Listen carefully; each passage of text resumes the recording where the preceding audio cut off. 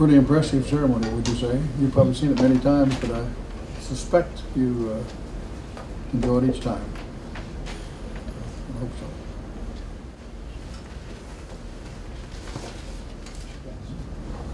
Well, I was my, I guess I'll just make a statement and something, but I it's just a, quite a privilege to be here. I, you heard what I had to say out on the floor, I presume, so, uh, I won't go back on that, but, uh, it, uh, I'm very impressed, uh, what the contribution that this institution makes to the, our international arena. It's, it's big.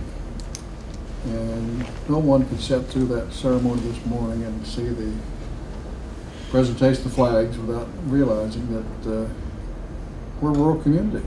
And some folks don't want to say that just, you know, but we are. And uh, we've, uh, we're in that situation.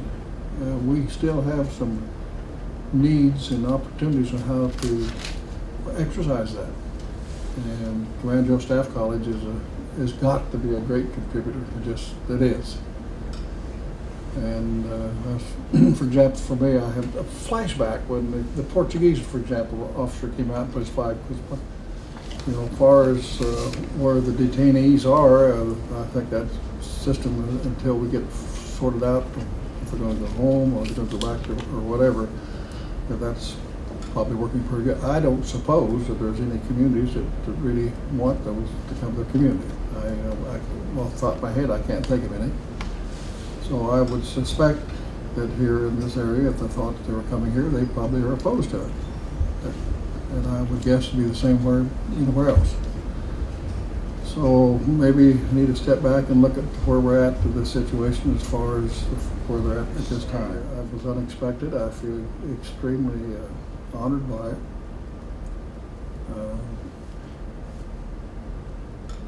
I don't have a lot to say. I just, that to be associated with, with this institution and my previous life and so on, and uh, to get that kind of recognition is pretty nice. I am very proud of the efforts that's going on here at Command General Staff College.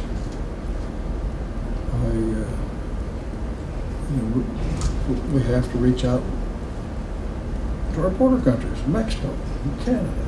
We, we do do very well with Canada. We can do better with them, I'm sure, but we can also, lots of room for improvement with Mexico. We're neighbors. We ought to be figuring this out.